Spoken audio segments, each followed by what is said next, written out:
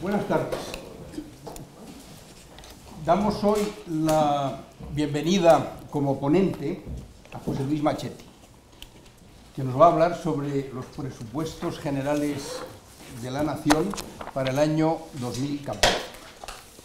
Esta será la primera sesión tras nuestra reflexión abstracta en el bloque introductorio, en que bajaremos a la cruda realidad de nuestro día a día.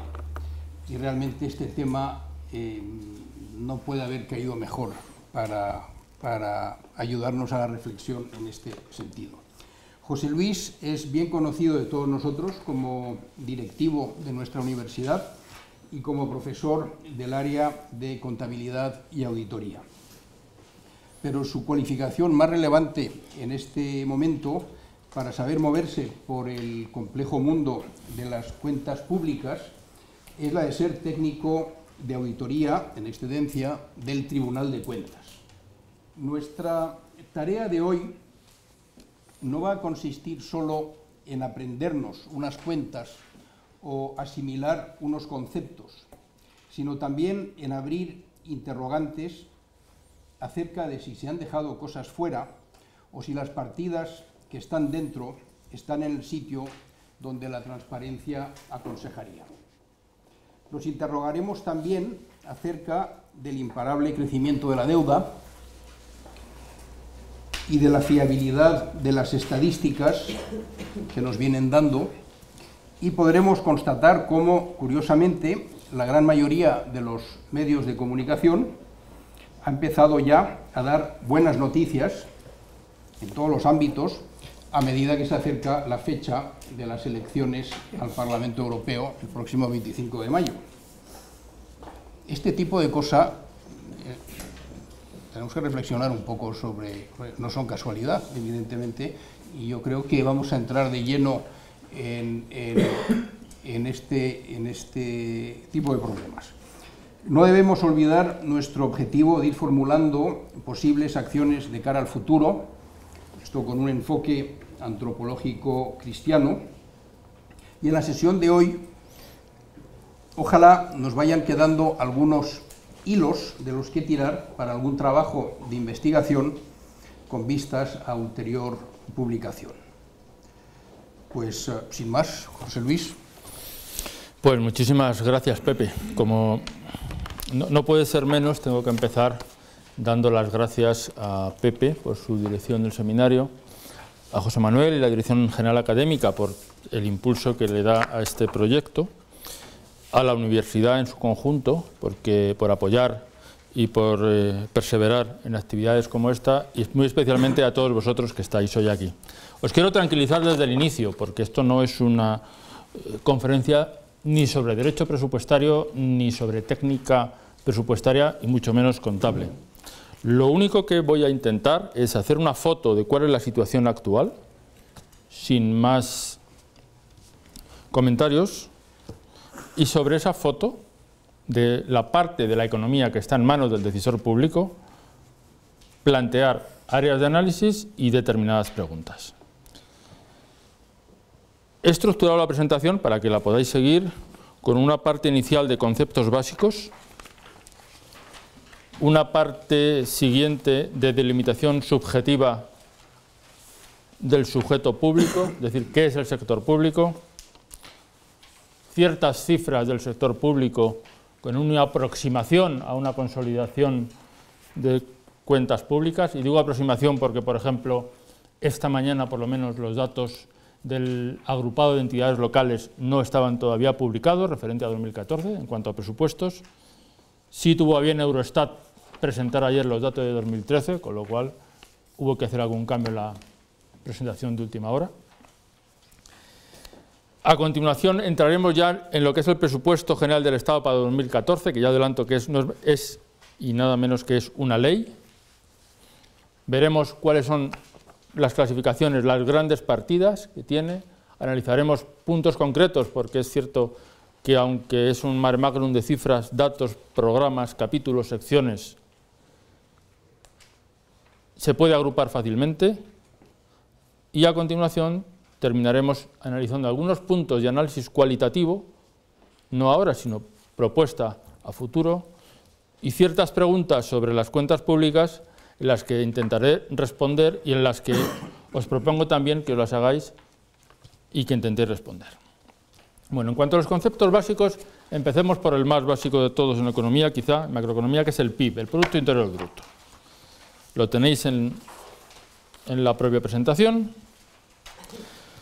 El Producto Interior Bruto es el valor total expresado en moneda de la producción de bienes y servicios finales, es decir, ni incorpora los bienes intermedios ni incorpora existencias eh, no utilizadas de una unidad territorial, que entendemos puede ser un país, durante un periodo de tiempo, que entendemos normalmente como un año. En este mismo cuadro os presento cuál ha sido la evolución del PIB desde 2006 hasta la estimación que hacemos ahora en 2014. Se ve claramente varias cosas. Primero, las dos recesiones, perdón, ahí, las dos recesiones que ha tenido la economía española de 2008 a 2009, primera recesión, segunda recesión a partir de 2011, que supuestamente va a terminar con una recuperación económica en 2014 porque el, PIB se espera que vaya a términos positivos. ¿Qué componentes tiene el PIB? El PIB tiene los siguientes componentes según la cifra que da el Banco de España. Tendría, estaría compuesto por el gasto en consumo final, la formación bruta de capital fijo, variación de existencias de objetos valiosos y el eh, diferencia entre exportaciones e importaciones. Quiero llamar la atención en el peso que tiene el gasto en consumo final. ¿Por qué? Porque aunque es cierto que la exportación está tirando del PIB, las importaciones están bajando y eso ayuda, al final para un crecimiento sostenido del PIB hay que pasar indiscutiblemente por incrementar el gasto en el consumo final. Y este gasto no ha hecho más que disminuir en los últimos tres años. Llamo también la atención en la variación que ha sufrido la formación bruta de capital, casi, casi a la mitad, desde el año 2006. Entiendo que para poder incrementar el PIB en los próximos años, recordemos que incremento de PIB en España y en casi todos los países es absolutamente necesario para incrementar empleo, sin duda habrá que revertir la situación de la formación bruta de capital y sin ninguna duda adicional habrá que incrementar el gasto de consumo final, especialmente en los hogares. A continuación, como concepto básico, también exponemos cuál, según los cálculos que se hacen ahora mismo, podría ser una estimación del PIB para 2014. La previsión del Gobierno era incrementar un 0,7, el Fondo Monetario Internacional ha hablado de un 1,2, pues podríamos, para este ejemplo, hacer la suposición de que el PIB puede crecer un 1%. Y en este caso nos encontraríamos con un PIB para 2014 de 1.033.000 millones de euros. El siguiente concepto básico que os quería plantear es la deuda pública. ¿Qué es la deuda pública? La deuda pública, tal como está calculada según el reglamento 475-2000 de protocolo de déficit excesivo de la Unión Europea, incluye las deudas de las administraciones públicas, que ya veremos, eso no es sector público, en un momento determinado, y deja fuera la deuda que tienen las administraciones públicas entre sí, lógico, las deudas comerciales, es decir, los pagos pendientes a proveedores no están dentro de la deuda pública, los llamados pasivos contingentes, que son todos los avales y garantías que ofrecen las administraciones públicas, por ejemplo, el aval que ha hecho el Estado para el endeudamiento que tiene el FROP, la Sareb, etc., y tampoco incluye la deuda de las empresas públicas. A continuación, se puede ver en el cuadro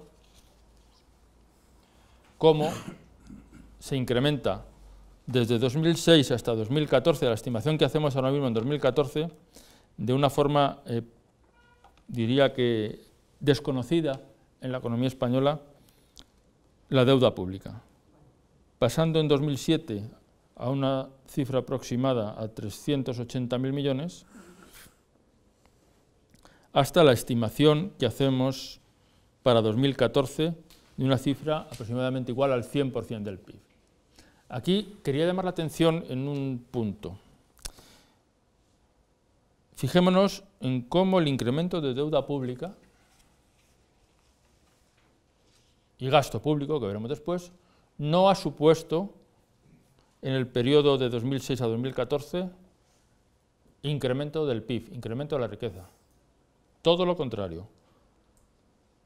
Se ha incrementado el gasto público, nos hemos endeudado más y, sin embargo, la riqueza de los españoles ha permanecido constante, incluso ha disminuido.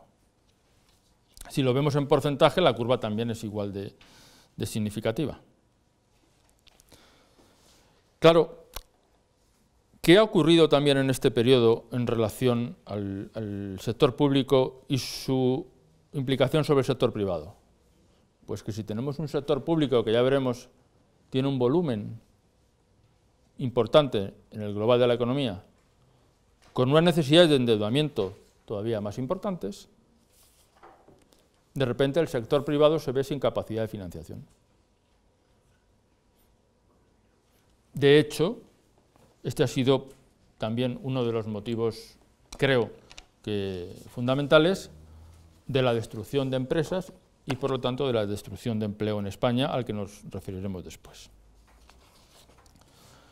A modo de curiosidad, a continuación os presento un cuadro de la evolución del porcentaje de deuda pública sobre el PIB desde 18, es solamente a modo de curiosidad, desde 1850, que es cuando se tienen los primeros datos, no hechos por institutos públicos, sino por, por personas concretas que se dedicaban a eso, como tenemos tres picos grandes, que son las dos guerras de Cuba y la Guerra Civil Española, y de repente,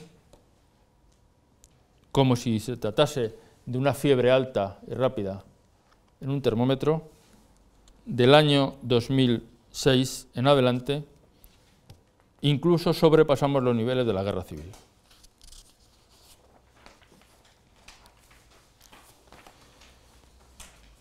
El siguiente concepto básico que os quería comentar es el de superávit o déficit público. Podríamos denominarlo como la diferencia entre ingresos, y hago la matización, corrientes y de capital, porque hay otro tipo de ingresos, menos los gastos corrientes y de capital de las administraciones públicas, definidas como la Administración Central, la Seguridad Social, las comunidades autónomas y las entidades locales. También este análisis se suele hacer en relación al PIB y, como digo, no incluye ni activos financieros ni pasivos financieros. La evolución la tenemos también en la misma diapositiva. Podemos ver que había años donde España tenía un superávit presupuestario, superávit público, estamos hablando de, de 2003, 2004, 2005, 2006, incluso 2007, para de repente en el año 2008 caer en déficit en picado, como se puede ver, hasta 2011-2012, para llegar a 2013 en una ligera recuperación del, eh, yendo a un menor déficit público. Veremos, intentaremos ver también las causas. Adelanto también la previsión que tiene en este momento el Gobierno de déficit público para el año 2014 del 5,8, que comprende también el Estado, incluido la Seguridad Social, las comunidades autónomas, al que le atribuyen 1%, y las entidades locales, que entiende no van a incurrir en déficit público durante el año 2014.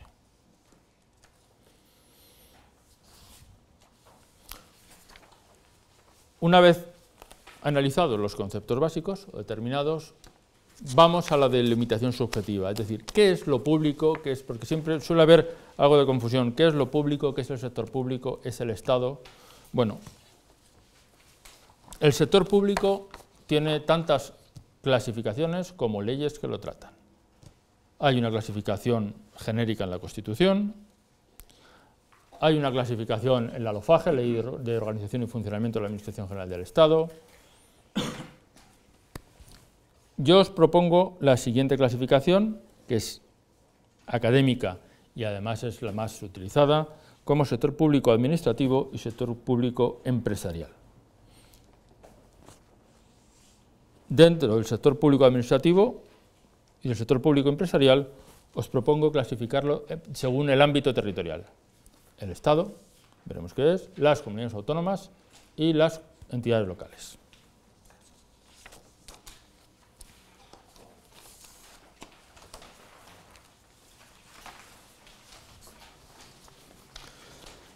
Sector público administrativo que refleja para 2014 las siguientes magnitudes. Un gasto estimado de 509.000 millones de euros, sumado los gastos de las tres entidades territoriales con una consolidación entre los sectores, por los gastos que se hacen entre ellos, transferencias que a las que ya comentaremos después, que supone aproximadamente un 50% del PIB. Es decir, ya podemos darnos una primera idea de magnitud al afirmar que el gasto público en manos del decisor político, la capacidad de generación de gasto es del 50% del PIB. Veremos qué incluye también. ¿Cuál es el déficit global? Ya lo hemos comentado, el 5,8% previsto para 2014. ¿Y cuál es la deuda estimada para 2014, partiendo de la deuda ya confirmada por Eurostat para 2013 y adicionando la estimación de incremento de deuda que va a suponer la ejecución del presupuesto 2014 dentro de las tres eh, administraciones territoriales. Como decía, es una aproximación. ¿Por qué? Porque las cifras de las entidades locales todavía no están publicadas.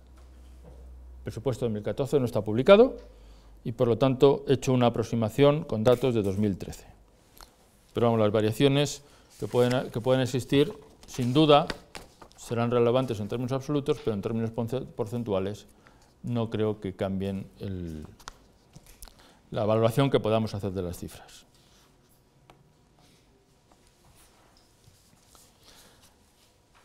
Comentar que en estas, en estas cifras no estamos incluyendo todavía, ya lo veremos después por qué, la variación de pasivos financieros. Es decir, no estamos incluyendo aquí la deuda que debe devolver la Administración Pública en el año 2014.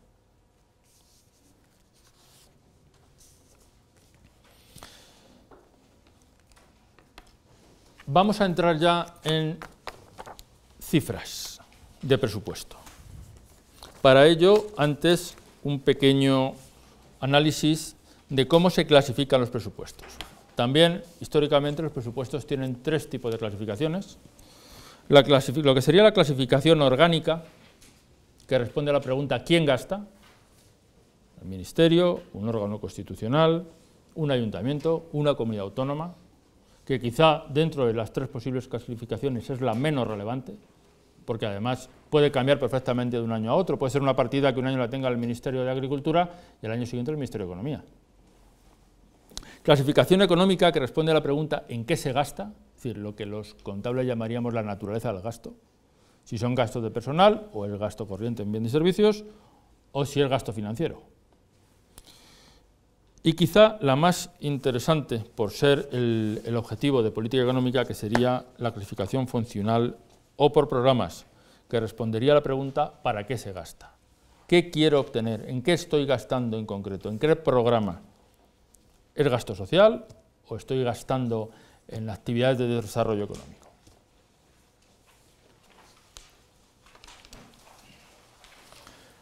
Una vez vista la tipología, os propongo pasar a los datos de alguna forma consolidados en las dos clasificaciones, la económica y la funcional o por programas, para el año 2014. Como veis, os comentaba antes, la cifra de gasto que hemos visto anteriormente no coincide con el total por no incurrir los pasivos financieros. Pues bien, si hiciéramos una consolidación, y repito, no es exacta, de los euros que se gasta el sector público administrativo español, o que tiene pensado gastarse en 2014, diríamos, por ejemplo, en la parte de los gastos, que son 93.000 millones de euros en gasto de personal, por ejemplo, 47.000 millones en gasto financiero, veremos qué supone 47.000 millones, 52.000 millones en gasto corriente, y así podríamos ir desgranando uno a uno los capítulos tanto del presupuesto de gastos, que aquí se tienen eh, especificados, como del presupuesto de ingresos.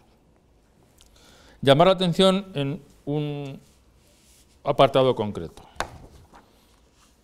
Ni el Estado, ni las comunidades autónomas, ni las entidades locales, ni su consolidado consiguen cubrir su gasto corriente con el ingreso corriente. Es como si una empresa tuviera EBITDA negativo. Cuando una empresa tiene EBITDA negativo, ¿qué hay que hacer? Normalmente, o reestructurar o cerrar, porque cuanto más venda, más pierde. Pues el sector público tiene, entre comillas, y la expresión, ya sé que es una simplificación, EBITDA negativo. En cuanto al concepto en que se gasta, principalmente gasto social, 287.000 millones de euros, que ahora analizaremos, y atención de la deuda pública. Esta atención de la deuda pública de 130.000 millones, un 13% del PIB, incluye intereses y devolución de deuda.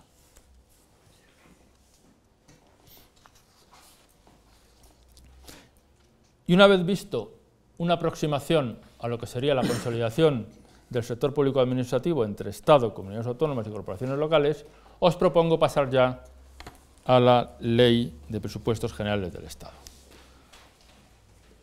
Y para ello hacemos, si os parece, una primera aproximación a qué organismos están incluidos dentro de los presupuestos generales del Estado, para luego ver cuáles no están incluidos y que podamos hacernos una idea del tamaño del sector público.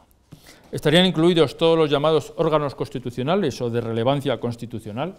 La diferencia entre uno y otro es que uno tiene un título propio en la Constitución y otro está expresado dentro de un título adicional de la Constitución. El sistema de seguridad social, la parte de administración del Estado, sin incluir parte de entidades públicas y, otros, y otras entidades. Deja fuera las entidades públicas empresariales, por ejemplo, Renfe, por ejemplo, el ICO, y deja también fuera sociedades mercantiles, fondos y fundaciones del sector público estatal. Es decir, ¿qué queda fuera de las cifras que vamos a ver y de las cifras de parte del Estado que hemos consolidado previamente con corporaciones, con comunidades autónomas, perdón, y corporaciones locales? Pues quedarían fuera según los presupuestos generales del Estado para 2014, 19 entidades del sector público administrativo, 14 fondos carentes de personalidad jurídica, más de 200 sociedades mercantiles, 38 fundaciones del sector público estatal y 23 entidades públicas empresariales.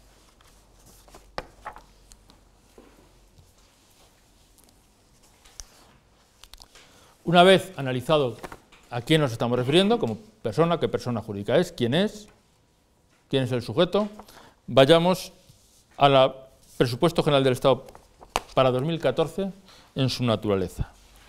En realidad, el presupuesto del Estado para 2014 es una ley. Es una ley que tiene continuidad en sí misma. ¿Por qué? Pues porque si no se aprueba cada año, da igual, entra en vigor la que estaba vigente en el año anterior. Eso si recordáis, pasó en el año 95, antes de las elecciones generales del 96, no se aprobó la ley de presupuestos y entró en vigor la ley del año anterior, con algunas modificaciones, sin duda, pero esto, por ejemplo, no pasa en otros países. En Estados Unidos no pasa. En Estados Unidos, las autoridades presupuestarias, que es el presidente de Estados Unidos y la Cámara de Representantes, tienen ahí funciones compartidas, tienen necesariamente que ponerse de acuerdo, si no paralizan la administración. Aquí nunca se paralizaría. ¿Y qué recoge esta ley? aparte de muchas cosas que quizá le sean impropias, como ya la jurisprudencia en alguna ocasión se ha encargado de decirnos, recoge dos aspectos fundamentales y por separado. Por un lado, recoge la autorización máxima de gasto a realizar durante un año y por otro lado, recoge una previsión quiero llamar la atención, gasto es autorización, ingresos es previsión, para financiar esos gastos. Y cuando no llega, como es el caso en los últimos años, la vía de financiación siempre es el endeudamiento. De forma que el endeudamiento entra a formar parte de la, partida de los ingresos y por lo tanto contablemente cuadra. Pero claro, cuadra, ¿por qué? porque entendemos que el endeudamiento es un ingreso, cosa que eh, desde un punto de vista puramente económico es, una, es algo que no debería ser. No solamente que lo recoja de forma separada, sino que además dentro de la propia legislación se establece que en el ámbito presupuestario rige el principio de no afectación. ¿Y qué significa no afectación? Que en general el ingreso que se recauda, normalmente por vía tributaria, no está destinado a ningún gasto específico, sino está destinado a la Bolsa General de Gastos que tomará en cuenta el decisor político. Esto tiene matizaciones, por supuesto. Hay algunos gastos, por ejemplo, las cotizaciones sociales, que no están afectadas en concreto a ningún gasto concreto, pero sí generan derechos que posteriormente generan gastos, que también veremos, pero por norma general rige el principio de no afectación. ¿Y cuáles son esas cifras que se han aprobado en principio para los presupuestos generales del Estado. Bueno, pues esas cifras las podemos ver en la siguiente diapositiva. Si las clasificamos de forma económica, como decíamos antes, volvemos a tener un déficit en operaciones corrientes de 33.000 millones de euros previstos para el Estado. Un déficit de operaciones de capital de casi 12.000 millones, lo cual nos lleva a un déficit de operaciones no financieras de 40 y, prácticamente 48.000 millones, que es precisamente, según el reglamento que aprueba el protocolo de déficit excesivo, lo que se computa como déficit público en cada uno de los países de la Unión Europea. Quiero llamar la atención, porque es significativo, en la forma en que la Unión Europea aprueba este protocolo. La Unión Europea tiene mm, varias formas, varias normas, directivas, reglamentos y decisiones. Normalmente la directiva, que es la más usada, es aquel marco general en el que obliga a los Estados miembros a cambiar su legislación interna para adaptarse a lo que dice la directiva. En este caso, como le parecía tan importante, dijo que no. Dictó una norma a través de un reglamento que no tiene nada que ver con el reglamento, aunque se llama igual, no es lo mismo que el reglamento entendido en el sistema jurídico español. En el sistema jurídico español el reglamento es un desarrollo de una ley que además no aprueba el legislativo, aprueba el ejecutivo. En la Unión Europea sí tiene rango eh, ejecutivo no solamente contra el Estado o a, los Estados, sino a cualquier miembro de la Unión Europea que se vea afectado. Es decir, no permite, en este caso, la interpretación por parte de cada país de cuáles son los criterios que se deben establecer a la hora del cálculo del déficit público, ni de la deuda pública, ni siquiera del PIB. Llamar la atención también dentro de pasivos financieros, me voy dentro de gastos, en realidad aunque llama gastos ingresos para los que somos eh, más dados a la economía de empresa, el concepto no es tanto una cuenta de resultados como un, estado de origen de aplicación de fondos, un cuadro de financiación. El incremento previsto de deuda del Estado alcanza casi los 73.000 millones. ¿Por qué? Porque tiene que financiar las operaciones no financieras y además la variación de activos financieros. Digo incremento de deuda neto, porque en realidad España tiene que pedir deuda por casi 142.000 millones para cancelar vencimientos de 69.000 millones. Y el resto sería para financiar la variación de activos financieros y el déficit de operaciones no financieras. Llamo la atención un momento en la partida de activos financieros, porque es una partida abultada, es decir, se supone según esa partida que el Estado va a dar préstamos por importe cercano a 40.000 millones, vamos a ver a quién se los da y si son préstamos de verdad o no van a ser préstamos y van a ser transferencias, porque depende de la calidad del acreedor. ¿A quién se lo va a prestar?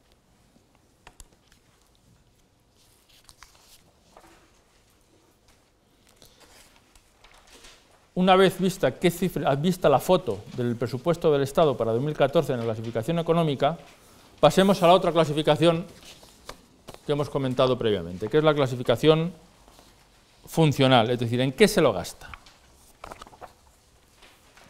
Bueno, pues podemos ver que se lo está gastando en servicios públicos básicos, que se entiende como servicios públicos básicos.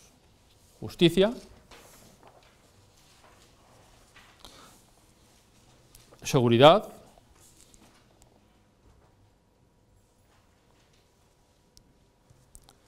también son servicios públicos básicos la política exterior y la defensa. A mí, este desglose de los servicios públicos básicos, sinceramente, me está sonando a parte de las eh, propuestas que hay por determinadas comunidades autónomas de interacción con el Estado, de forma que sea el Estado el que mantiene los servicios públicos básicos y el resto de actuaciones se dejan en manos de las comunidades autónomas.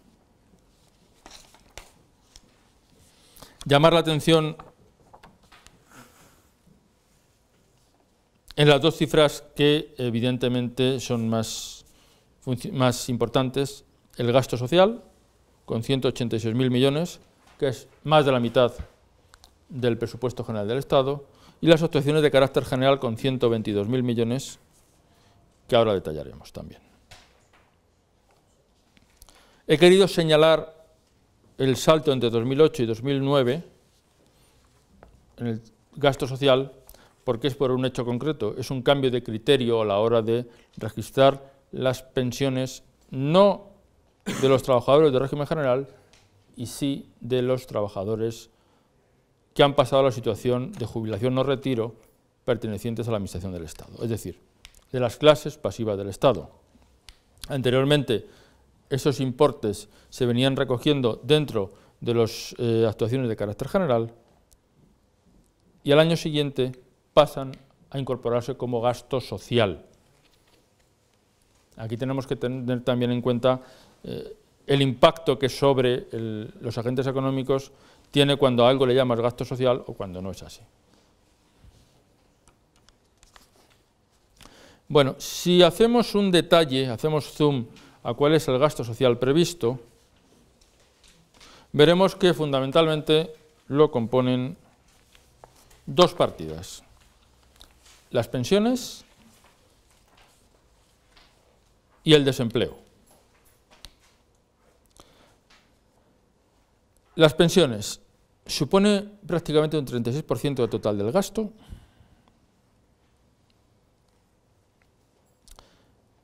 Y ha incrementado desde el año 2006 en un 67%.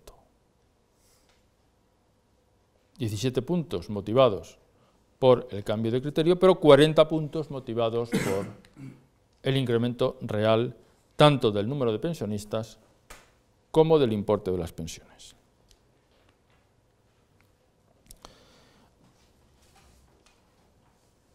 Y a continuación hablaremos también del desempleo, que supone un 8,4% de todo el presupuesto, pero que desde el año 2006 ha incrementado sus partidas presupuestarias en un 105%.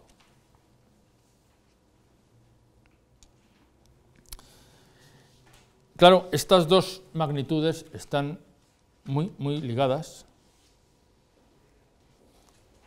a la actividad laboral. Tanto las pensiones por el número de personas que han pasado una situación de reserva, retiro o de jubilación, como por el número de personas que han pasado a una situación de desempleo. Y nos podríamos preguntar, ¿por qué sucede esto? ¿Por qué España de repente en 6-7 años tiene estos incrementos? Y sobre todo, ¿por qué sucede más que en el resto de la Unión Europea? Bueno, pues eh, yo apunto aquí dos temas que por supuesto pueden ser objeto de análisis posterior, y es que en España la edad media de jubilación aunque todos pensamos que nos jubilamos a los 65, no es así. La edad media de jubilación son 62,2 años, los últimos datos. Si hay, claro, nos preguntaremos, si hay gente que se jubila a los 70, hay gente que se está jubilando antes. Sí, ¿por qué? Pues porque eh, los poderes públicos han preferido considerar a determinados, determinadas personas, a determinados trabajadores pensionistas a considerarlos desempleados a través de las prejubilaciones. Otro dato, en España, por ejemplo, la edad laboral, la vida laboral media es la quinta más baja de la Unión Europea. Ahora se está planteando incrementar la, vida laboral, se está planteando el, que podamos jubilarnos a los 70 de forma general, pero es que en este momento la edad, el, número de años medio que una persona está trabajando no llega a 35 de media. En otros países de la Unión Europea estamos hablando de 40, 45, depende. Somos, repito, los quintos por debajo.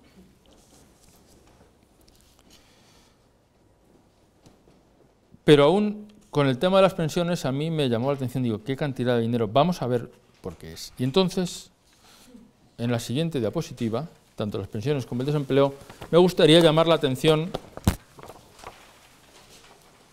en los detalles que ofrece el cuadro.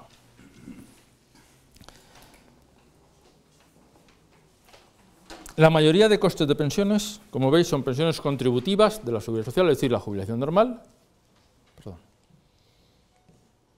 y las pensiones de las clases pasivas. No olvidemos que estamos hablando que esto está clasificado como gasto social. Ahora veremos si es gasto social o no, o, a ver qué, qué, opinamos. Pero, pero sin duda son los importes más fuertes. ¿Y por qué hago esta diferenciación? Porque tanto las pensiones contributivas como las pensiones de clases pasivas son pensiones generadas por derechos ya pagados año a año por los pensionistas. Pasa lo mismo con las prestaciones por desempleo. Las prestaciones por desempleo a nivel contributivo, que son la inmensa mayoría, no es una dádiva del sector público, es que durante muchos años cada persona ha estado cotizando, ha estado pagando él y su empresa, los dos a la vez, en cantidades muy fuertes, para que llegada esta situación se pudiera tener el derecho a esta prestación. Hagamos una reflexión, ¿qué ocurriría esto? perdón, ¿cómo podríamos tratar esto si estuviéramos en el sector privado? Imaginemos que tenemos una póliza de jubilación, la que vamos pagando religiosamente año a año, y cuando llega la edad nos tienen que dar nuestro dinero. ¿Admitiríamos que esa empresa, compañía de seguros o lo que fuera, dijera que está haciendo un gasto social. ¿Pero cómo que gasto social? ¿Las pensiones son gasto social? ¿La prestación por desempleo es gasto social? Si, si, nos ha costado dinero, si hemos pagado por ellas. Y además, desde luego ahí hay intercambio de equivalentes, o más o menos de equivalentes. Hay reciprocidad. Y en algún caso sí puede haber redistribución, por ejemplo, las pensiones no contributivas o en los complementos a mínimos de pensiones, pero en la pensión que está pagando cada uno, en mi opinión, no es gasto social. ¿Qué pasa? ¿Que todo el gasto de pensiones en España entendemos que es gasto social solamente porque sea una pensión? Bueno, pero si es que hemos pagado por ello, si es que no nos lo han regalado.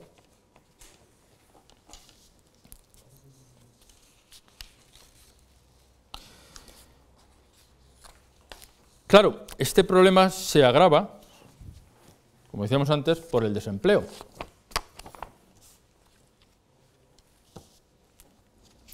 ¿Qué efecto tiene el desempleo?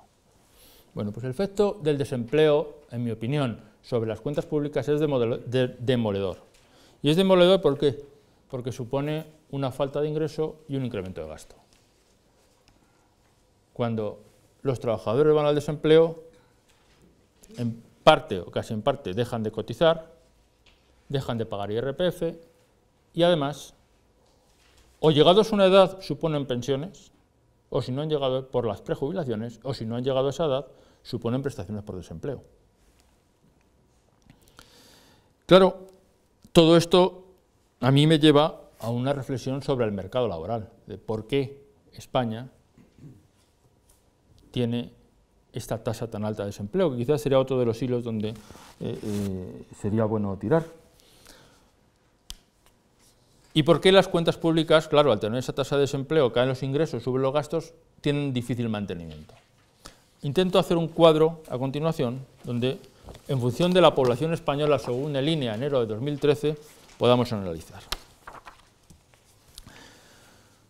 Según el Instituto Nacional de Estadística, el 1 de enero de 2013, la población española era de 47.059.000 personas, de los cuales menores de 16 años, es decir, que no están en edad de trabajar, tenía aproximadamente 9 millones.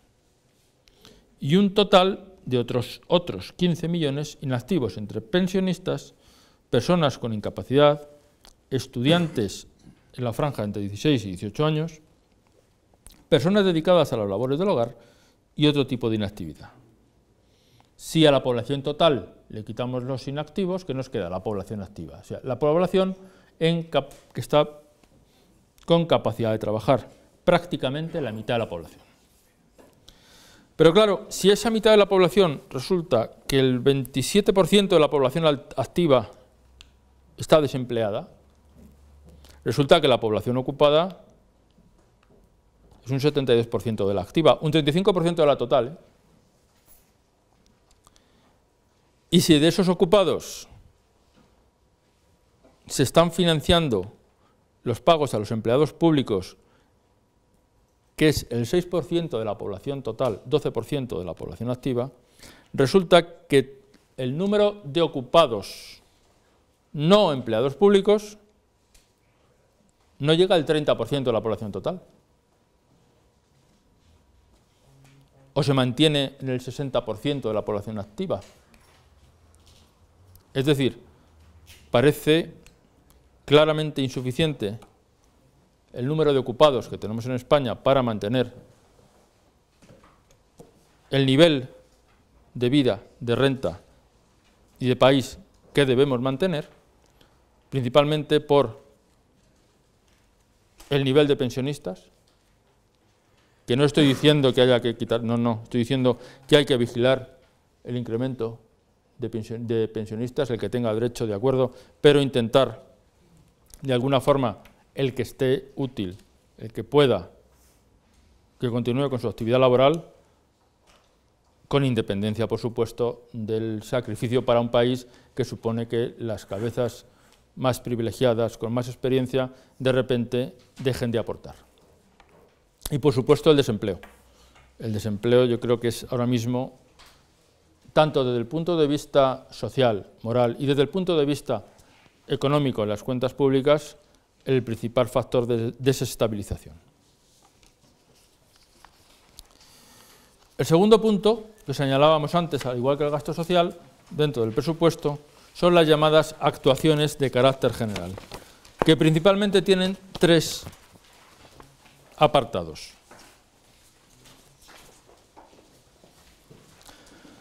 Los llamados servicios de carácter general, que en realidad no son más que el Fondo de Liquidez Autonómico y el plan de pago a proveedores que está haciendo el Ministerio. En realidad es un ejercicio de eh, llevar a la deuda pública aquello que está fuera de la deuda pública. No olvidemos que estos fondos en realidad son fondos que está pagando el Ministerio de Economía, Ministerio de Hacienda, perdón, por cuenta de, las comunidades autónomas y de las corporaciones locales, a proveedores que no les puede pagar y que, como hemos dicho, en este momento no figuraban como parte de la deuda pública. Aquí comentar que aunque sí está en la deuda pública, no está en el déficit público. Porque claro, el Estado lo está poniendo como un préstamo. Vamos a ver si con los años las comunidades autónomas y las corporaciones locales pueden devolver ese préstamo. Yo creo que no, yo creo que al final acabarán incrementando la financiación para de ahí decir que se está devolviendo. En realidad es un traspaso del déficit público de estos años a años futuros. Con el problema que tiene eso, claro, porque a ver quién soporta esa carga en años futuros, en déficit público. El siguiente punto dentro de las actuaciones de carácter general serían las transferencias a otras administraciones públicas, principalmente a eh, comunidades autónomas, entidades locales, con esos importes, y aquí también se incluyen los flujos con la Unión Europea, aproximadamente por 12.000 millones de euros previstos para el año 2004. Decir que este año, desgraciadamente, los flujos con la Unión Europea se acaban neteando, prácticamente solamente tenemos un saldo positivo dentro del Estado de unos 140 millones de euros mientras veníamos de saldos positivos bastante superiores. Bueno, pues una vez visto el conjunto de gastos, no, no quería dejar de hacer una referencia a los ingresos públicos. Por un motivo, porque es que creo que en mayo o junio la Comisión de Expertos en materia fiscal, que lleva reunida desde el año pasado que se supone que en febrero iba a hacer un informe y lo ha hecho, pero no lo ha hecho, no lo sabemos, nos va a decir cuál va a ser la estructura fiscal futura de nuestro país. No sé al final cuáles serán las conclusiones, pero lo que sí parece es que tienen el mandato de mantener los ingresos tributarios en un porcentaje parecido al 37% del PIB si sumamos los ingresos tributarios del año 2014, estamos en un 36. Es decir, probablemente la reforma que se presente por parte del Ministerio suponga un incremento en la recaudación tributaria del 1%.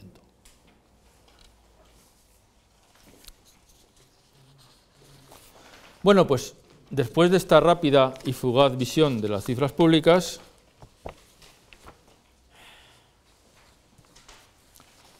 os proponía unas áreas de análisis y unas cuestiones para análisis y reflexión. En cuanto a las áreas de análisis, la primera era,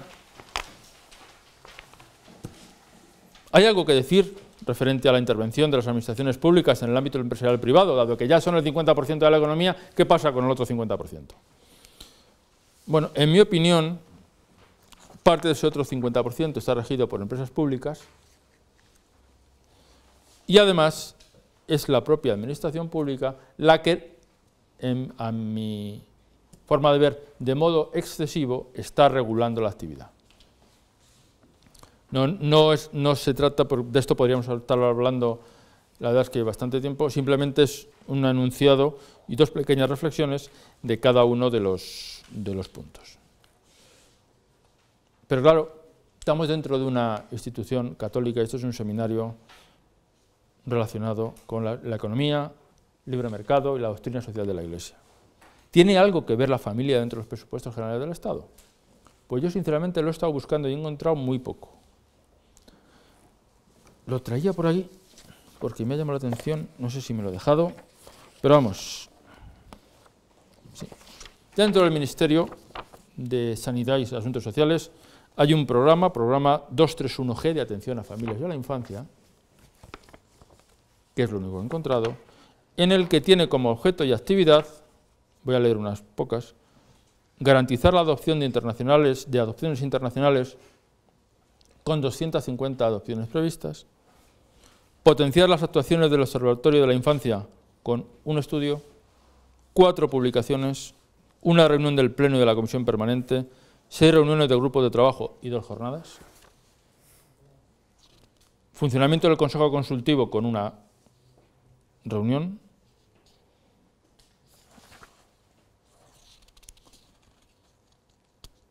expedientes a examinar de organizaciones no, gubernamentales en el ámbito de la familia 98 y con un presupuesto que no llega a los 6 millones de euros. Evidentemente, he encontrado mucha más relación a la familia dentro de los presupuestos, pero no a la familia como institución, sino al concepto que se vería mm, varias veces repetido de aliviar las cargas familiares.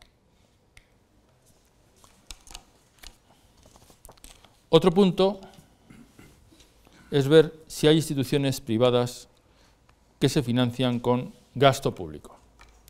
Pues bien, eh, sin duda las hay.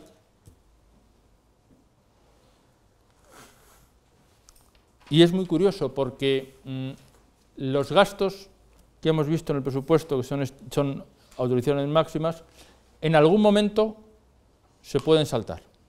Es decir, aunque hemos dicho que es máximo, hay algún momento que se puede saltar. Por ejemplo, ¿qué ocurre si nos quedamos cortos en la estimación que hemos hecho de las pensiones? ¿Va a ir algún jubilado, algún pensionista en noviembre, donde ya se ha consumido el crédito presupuestario, y le van a decir que no hay crédito? A ver, no. ¿Por qué? Porque es automáticamente ampliable en función de las necesidades. Igual sucede con las prestaciones por desempleo. E igual sucede con las subvenciones a partidos políticos, especialmente en campañas electorales. Para, estas elecciones que vamos a tener en mayo, aparte de la subvención para gastos electorales, tenemos otra subvención de 1,08 euros por voto que obtenga cada partido político con un mínimo de representación. El tema de los partidos políticos y su financiación es otro tema que daría para eh, quizá un seminario completo. Se habla mucho de la financiación de partidos políticos. Creo que hay en ciernes un cambio en la ley de financiación de partidos políticos. En mi opinión, creo que no vale para nada si lo que no se cambia es la ley de partidos políticos, no la financiación. Unos partidos políticos que tienen estructura nacional en todas las capitales de provincia y en todos los pueblos, prácticamente todos los pueblos del país, necesitan financiación para mantener esa estructura. Mientras no se cambie su estructura, por mucha ley de financiación que hagamos, podremos tener más o menos transparencia, pero el coste de la estructura de partidos políticos que tendremos en España seguirá siendo muy elevado. Otra línea que se me ocurría, ¿quiénes son los financiadores del conjunto de las administraciones públicas? Pues está claro, las personas físicas. Las personas físicas presentes y las personas físicas futuras. No olvidemos, tenemos déficit corriente. Gasto social contra derechos adquiridos, pues ya lo hemos comentado. Si es gasto social o no es gasto social las pensiones. Mercado de trabajo, creo que también eh, daría para, para otra reflexión. ¿Por qué España, como decía antes, no es capaz de generar empleo neto si no es con altas tasas de crecimiento de PIB? Y un último tema que a mí me, me llamó mucho la atención porque además creo que eh, es mm, no solamente un problema en España, sino un problema en, prácticamente en el mundo, en, los países de la OCDE. Vamos a ver. Nos hemos preguntado mucho por qué estamos en crisis, por qué la crisis económica. Y hemos dicho, dado respuesta de todo tipo. Y además incluso nos hemos ido al campo moral, a decir que es una crisis moral y un problema moral. De acuerdo. Pero nos hemos preguntado por qué los académicos, no hemos sido capaces de predecir la crisis? No el actor, sino el que tiene la obligación o el que la sociedad le da la obligación de predecir estas cosas. Bueno, esta misma pregunta se la hizo la reina de Inglaterra en el año 2009, parece que fue, en la inauguración del curso en la London Business School of Economics. Y la respuesta que le dieron inicialmente fue la respuesta a la primera pregunta, no a la segunda. Evidentemente la reina no, con toda su diplomacia no se quedó tranquila, se dieron cuenta y a los pocos meses la British Academy le mandó una carta a la reina de Inglaterra diciéndole, en referencia a la pregunta que hizo usted en aquel momento, y empezó a hacer una disertación completa, que acaba en un párrafo.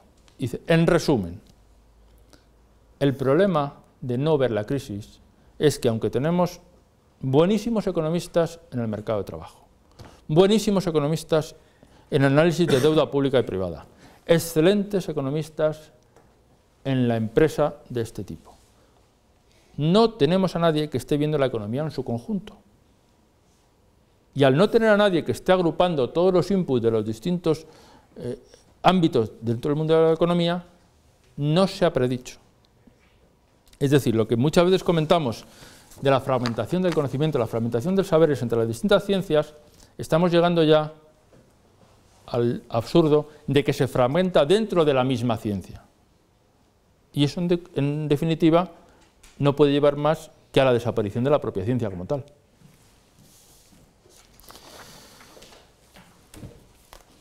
¿Y qué preguntas me hacía yo que quiero compartir con todos vosotros? Pues las preguntas que me hacía es, por ejemplo, visto lo visto, ¿cuál es el papel que tiene en este momento el sector público en la economía de España? Porque es cierto que hemos hecho reflexiones sobre el papel del sector público en la economía en general. Bueno, ¿y qué pasa hoy, durante 2014, en España? En mi opinión es un papel doble. Por un lado, decisor y por otro lado, actor principal. Es decir, decide y decide a corto plazo porque tiene los instrumentos jurídicos para hacerlo y porque tiene el mecanismo económico para hacerlo, pero además actúa en la parte económica que en teoría estaría dentro del ámbito privado. Ahí la reflexión es, ¿ese es el papel que debe jugar el Estado? ¿El Estado entendido en su conjunto como las administraciones públicas? Creo que no está haciendo un papel rector del conjunto. ¿Por qué? Precisamente porque está actuando como agente, está actuando como actor. Y es muy difícil ser a la vez actor y reactor. Y de hecho, incluso el propio Estado está dejando fuera de su ámbito determinadas funciones, delegándolas en las otras administraciones territoriales, en temas tan esenciales como puede ser, por ejemplo, la educación. Creo que eh, habría que incrementar también los espacios para la libertad de mercado. Si el Estado volviera a su papel de rector de la economía, dejaría espacio y además cumpliría su función de revisión del mercado. Por supuesto que tiene que haber una regulación, por supuesto que tiene que haber unas reglas de juego. Personalmente no soy defensor del liberalismo a ultranza, lo que no se puede hacer es a la vez juez y parte. Y además, y lo que es mm, grave en estos días, es que con ese juego decisor y actor, además se está acaparando las vías de financiación. Como decíamos antes, no es casualidad que las empresas estén cerrando, los autónomos estén cerrando y no les den crédito. Primero porque a España de repente se le cortó el crédito. Y, en mi opinión, con razón, por las cifras que hemos visto y la evolución que hemos visto. De hecho, habría que ver qué pasa hoy mismo si de repente el Banco Central Europeo dice que empecemos a financiarnos libremente en los mercados. Habría, que habría que ver a qué tipo de prima de riesgo subiríamos otra vez. Pero es que el poco dinero que entra ha ido directamente a financiar el sector público. Claro, para, las entidades financieras españolas, con un problema de financiación gravísimo por el alto apalancamiento que tenían, en el que se les abre la puerta de la financiación pública europea, el financiar al sector público es facilísimo. Porque el Banco Central Europeo, ¿qué tipos tiene? ¿O qué tipos ha tenido? Fuera de la realidad, un 0,5, un 0,25, 0,75. ¿A cuánto está hoy, hoy el bono español? Al 3%, 3,50, pero es que ha estado al 5 y al 6. Para el banco es negocio seguro. Una rentabilidad interesante, con riesgo prácticamente cero y con pocas necesidades de provisionar. Resultado, claro que les interesa mucho más financiar al sector público que al sector privado. Otra reflexión que me hacía, es una pregunta que, expongo, es, ¿es moralmente aceptable que derivemos las cargas de los gastos actuales a las generaciones futuras? Es decir, ¿podemos estar viviendo ahora con dinero que van a tener que pagar nuestros hijos y nuestros nietos? El 80% de la deuda española estaba más de 30 años, ¿eh? 30 más de 30 años. Es decir, no es que vayamos a pagarla pasado mañana. De hecho, podéis verlo. cuál es hemos visto cuál es el importe que hay que devolver este año y cuál es el total de la deuda. Hacer el cálculo. Bueno, en mi opinión, yo creo que sí sería moralmente aceptable cuando es un endeudamiento para hacer inversiones, es decir, cuando yo me endeudo para hacer una carretera, una vía de ave, un puerto que las generaciones futuras van a disfrutar, entonces es lógico que entre generaciones se reparta la carga, lo que no entiendo que sea aceptable es que en este momento nos estemos financiando en gasto corriente a cargo de las generaciones futuras. Eso es como si en una familia, de repente, para pagar la luz y la comida, nos endeudamos para que nos lo paguen nuestros hijos. La siguiente pregunta sería, ¿favorece la acción política el desarrollo económico? Pues sinceramente, mm, probablemente esté, dentro de sus deseos, pero desde luego las cifras no nos llevan a ello. Si nos vamos a la página 14, a la presentación 14, vemos que las actuaciones de carácter económico que tiene el Estado suponen el 8% del total del presupuesto.